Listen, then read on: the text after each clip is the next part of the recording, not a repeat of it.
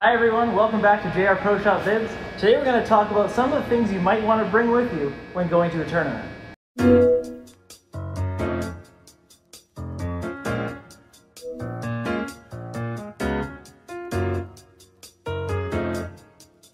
So we get a lot of customers coming into the pro shop that might be going on the road for the first time to their first tournament outside of town, or maybe they bowl in a center that doesn't have a pro shop. Today we're joined by PBA champion Jordan. Today we're joined by PBA champion Jordan Jung. He's been kind enough to bring his tournament backpack. Let's take a look at what's inside. First pouch. Shoes.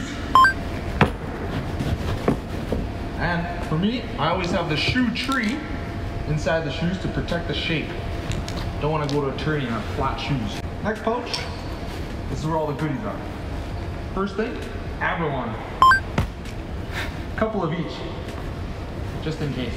Never know. You want to get some wet, you want to keep some dry, so I got a couple of each. Notepad, write everything down. Heels and soles for the shoes. Never know where I'm bowling. Sometimes I'm bowling on wood, synthetic, old, new. Make sure I got my bases covered here. Towel. When you're sanding Abralon with wet, you want to dry it off. Make sure you got a dry towel with you. Gum.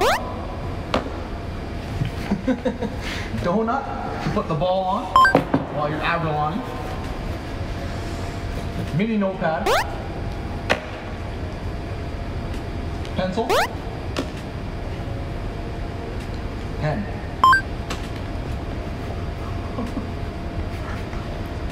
Scissors. Cut the tape. You know, sometimes I don't like full piece. Chamois.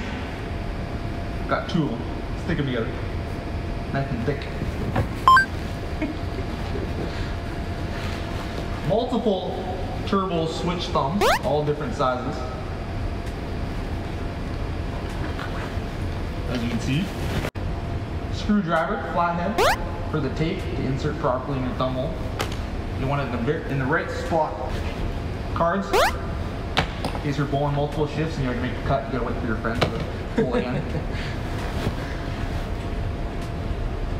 Hotel room key. PBA name tag. Storm sticker. Battery. Lip balm. We got some coins here for the vending machines. More lip balm. Another lip balm. Last but not least, grease pencil for the bowling ball. Or behind your ear for balance. So that's all I got. I know it's missing a few things, but those things I don't really use, so I'd rather keep my bag as light as possible. So I noticed you got a couple of notepads there, a pencil and a pen. What kind of notes are you taking when you're on the road? So big one here. I uh, write down what balls I have, and I graph it, like we've been showing you the last couple of vids. Write down the layouts, where they fit, and then after the tourney, I write like a little tiny report on it. Because you know all these tourneys happen once a year, so I'm always going back to the same bowling alley, same tournament year after year. So I go back and I read what happened the year before. And then the small one, this is where I write down my little micro adjustments that I've been making on the lanes. Because lots of these tournaments are two days, right? So the lanes are burning up a little bit quicker, a little bit slower. I write it all down here. And if you hit a pair where one lane is different than the other, and you go back to it later on, you already have that note written down. Yeah, like for example, lane one and two is usually the most difference I see. They'll address lane one and then lane two, so lane one doesn't get the proper pattern out there, so it always hooks way more. So I'm keeping those type of notes in here. So I see you got four different thumbs here on the table. Uh, most bowlers only ever use one thumb at one time. Why why have four for a tournament? Well, actually I have five. My other one's in my bowling ball that I was showing earlier. Uh, they're all different sizes. One slightly, just a hair, 64th bigger on each one. Just because I know I'm traveling a lot. Well, when cold is over, I'm traveling a lot. uh, lots of different temperatures, lots of different humidities. So thumb's gonna change all the time. Also depends what I eat the night before I bowl, right? So I always want that good, perfect, snug fit. So I give myself five different options for that, plus tape. So if I don't have a thumb that fits, like fire myself as a ball joke. So a little while back, we had a ball surfacing video and went through all the different grits that are available in an Abralon pad. I see more pads than that here. Is the reason for that? Kinda. Uh, I use them so often that they get worn out. So whenever they get a little bit worn out, I put a new one in and I keep the old one. Because there's still something to it. 500 for example, I use it a couple times. It's not gonna be 500 anymore. So I throw, throw a new 500 in and I keep the old one just in case. Right? Might be 750. Exactly. Like it falls in between that fresh pad and the fresh thousand, let's say. Yeah. It falls in that, so it gives you a different look than the thousand pad. Yeah, so say I'm using a fresh 1000, ball's still not picking up early enough. I'm gonna go to my little bit worn out 500 before a brand new one. Give myself another option there. So that's why I got so many. I got like 10, 12 here. So I noticed there's a few things that are missing. Puffball, shoe brush, for example. Shoe covers. A lot of people have shoe covers when they travel. They put their, their shoes in the bag, they want to protect it. Why not you? I'm just so lazy. Putting a shoe cover on when I go walk to the washroom is just too much work for me. But, you know, you should definitely have one. on. You don't want to be stepping in anything. I definitely have stepped in stuff once or twice. It's not fun. Yeah, any sort of liquid, you really feel it on the approach when you try and slide the next time. So the puff balls, a lot of bowlers carry them. They like it for the texture, they like to keep their hand dry. Why not you? I've never used one. I've never used rosin, puffball, easy slide, none of that. Uh, I try and keep it. I try and keep it nice and simple, like I said. I've never had anything on my hands, my wrist, or arms, so I don't even need to breathe. So I noticed something else that you're missing. A lot of cleaner. Now I love to use this stuff when I, when I'm done bowling. I want to clean the ball before I put it away. I don't see it in your bag though. What's the reason for that? The dirtier the ball gets, the better it gets. No, I'm kidding. Uh, I just don't like cleaning my balls in between tournaments. I take them there with very fresh surfaces. And uh, how many games am I really bowling on the first day? Eight, maybe ten maximum. So I don't feel like I need to clean it after that many game. But if I were to use cleaner, I would use the Buffa solution. That's right. so I see something in your bag that I don't have, and I don't think most people have. Not one, not two, but three lip balms. Any reason for that? Yeah, Go to Vegas a lot. Well, I used to. It chapped lips, man, no good.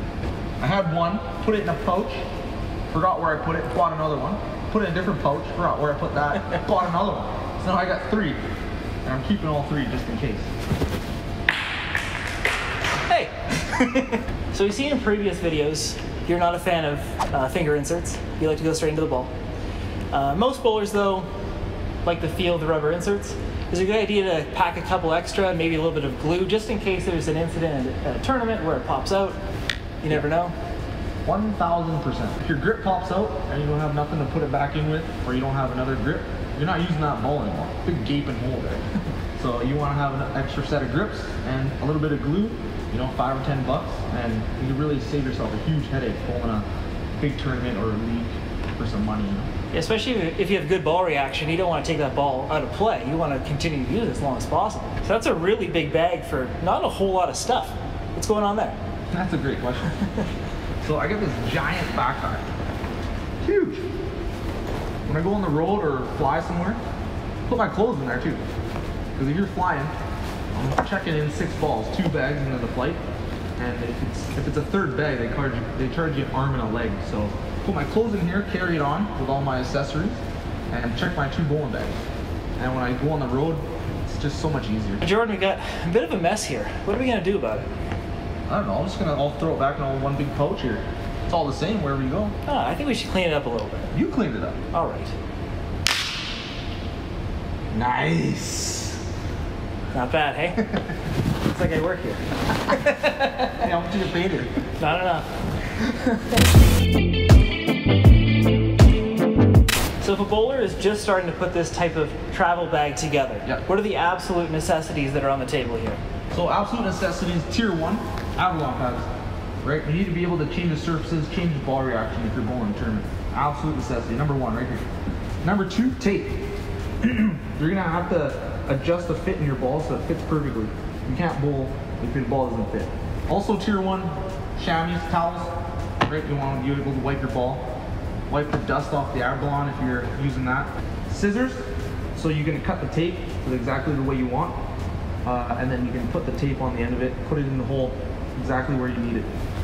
So that's tier one, that's absolute bare necessities. Tier two, you want to have multiple different sizes of your thumb. Uh, if you're using turbo switch grip or the I, IT from Vise, you want to have three to four different sizes, right? Even in case one breaks, you can put tape in a slightly bigger one, uh, take tape of a slightly smaller one, right? So you always get something that works. Grips and glue. Not a complete necessity as there will be lots of pro shops around, but for only a couple bucks, you might as well have it in your bag just in case. Also in that tier, we got rosin. Easy slide, right? You never know where you're where you're bowling. You're going different bowling alleys, different humidity. Uh, your skin might get a little tacky, a little bit dry, so you want to make sure that the ball's coming off your hand the way you want it to. So those are tier two for necessities. Tier three, notepads, uh, but you can find those anywhere, right? You don't, you don't have to go to a pro shop to get those. Cards, gum, you know, those are just the extras that I like to have. Chapstick. Yeah, couple, at least. Well, Jordan, thanks for taking the time to show us everything that's in your bag. Anything you want to add? Yeah, one final thing. I know lots of people don't have a backpack, right? They just throw all this crap in their bowling bag in the side pouches. Get a backpack, right? You know, you don't want to be losing stuff. You don't want your bowling balls to be crushing other things. Get a backpack, put it all in here nice and neat. You know, not how I sprawled on the table. Put it in nice and neat. Keep it separate. You know, you don't want you don't want to be losing things or everything separate and all together and back. But also, if you're in a tournament and you're changing lanes and you're going different ends of the houses, you want to bring everything with you. You don't want tucked away in a corner with your stuff. Great point. Yeah. Bowling tournament, you're never on the same lane for more than one game. So, backpack, balls, head to the next lane. Nice and quick. Great point, Mark. That was good. All right, guys, thanks for watching. Uh, thanks for watching all our videos. Uh, make sure to subscribe below. Speaking of that, thanks to everyone for 1,000 subs. Woo! What do we got next? What's on What's on tap? Well, I think you got a web tour hybrid coming, don't you? That's right. And I got the Roto Rubicon on the way. So stay tuned for those videos right around the release date. Thanks for watching, everyone. Hey, you forgot your stuff. Oh,